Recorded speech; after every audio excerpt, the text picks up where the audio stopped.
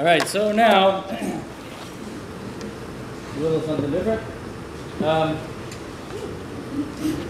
I've not, uh, I've only really kind of delved into hip hop and R&B and stuff, very, very, a little, little tiny bit, but I love it. I love all, all kinds of music. And uh, so I want to try to do a, uh, you know, like a cool dance track for you guys if you're okay with that. Yeah! Cool, cool, yeah, yeah, I love you dancing, yeah, like that.